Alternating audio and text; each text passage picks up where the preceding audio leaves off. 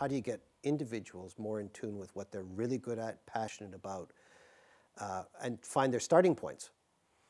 Because it's dead easy when you have somebody who's wired into that to activate them.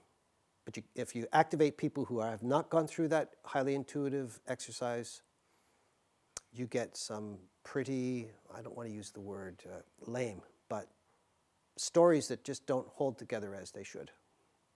And this got to be tight. When you pursue an opportunity, it's tight.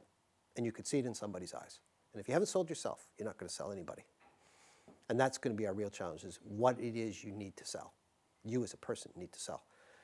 And that's a pretty hard thing to scale up. For think about 19,900 students at Aalto, but they all face the same problem. And I've heard this from investors as well.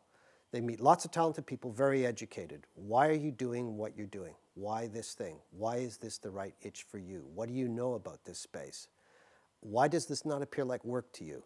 Uh, what do you bring to the table? What don't you bring to the table? Who do you know that can help you get started? These are all practical issues that I don't think my students spend nearly enough time thinking about before they come and say, now I need to start a business. Well, what business? What's your itch? Why do you have this itch? What do you know about this?